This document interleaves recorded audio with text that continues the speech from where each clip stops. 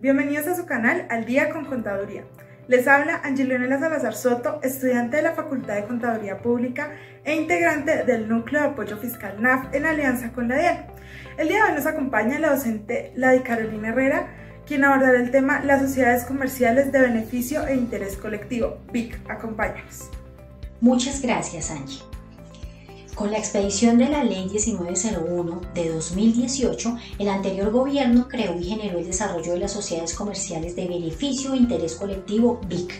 Igualmente, con la expedición del decreto 2046 de 2019, se reglamenta sobre este tipo de sociedades, adicionando el decreto único reglamentario del sector industria, comercio y turismo y el decreto único reglamentario en materia tributaria regulando así a todas aquellas compañías que sean constituidas de conformidad con la legislación vigente, las cuales, además del beneficio e interés de sus accionistas, actuarán en procura del interés de la colectividad y del medio ambiente.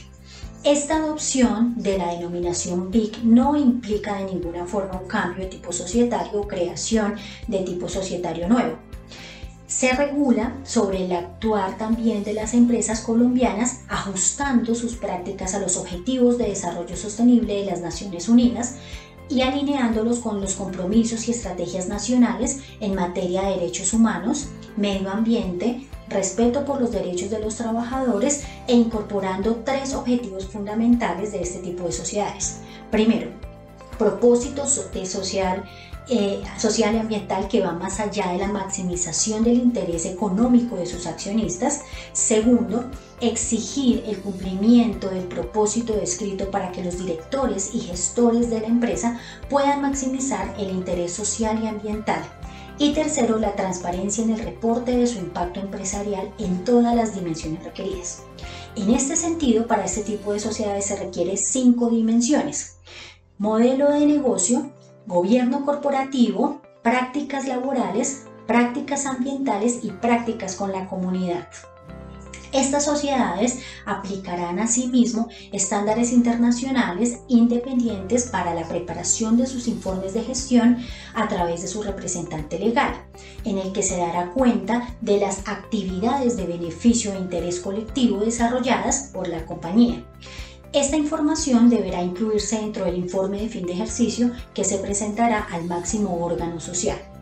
El reporte de gestión deberá realizarse conforme con un estándar internacional independiente y podrá estar sujeto a auditoría de las autoridades competentes o de terceros. el estándar independiente que se acoja para la elaboración de este reporte debe contener las siguientes características. Reconocimiento, comprensión, independencia, confiabilidad y transparencia. En ese orden de ideas, la Superintendencia de Sociedades expide la resolución 200 00 43 94 del 2018, por medio de la cual se reconocen también los estándares internacionales independientes para la preparación de sus informes de gestión en estas sociedades BIC. 1 tenemos la certificación de sociedades B de B Corporation. Va más allá de la certificación a nivel de producto o servicio y es la única certificación que mide todo el desempeño social y ambiental de una empresa. La evaluación de impacto B evalúa cómo las operaciones y el modelo comercial de su empresa impactan a sus trabajadores, a la comunidad, al medio ambiente y a los clientes. 2. Los estándares del GRI del Global Reporting Initiative. Estos estándares crean un lenguaje común para las organizaciones grandes, pequeñas, privadas o públicas para informar acerca de sus impactos en la sostenibilidad de una empresa coherente y creíble y además mejora la comparabilidad global y permite que las organizaciones sean responsables y transparentes también. Tercero, la norma ISO 26000 de responsabilidad social empresarial.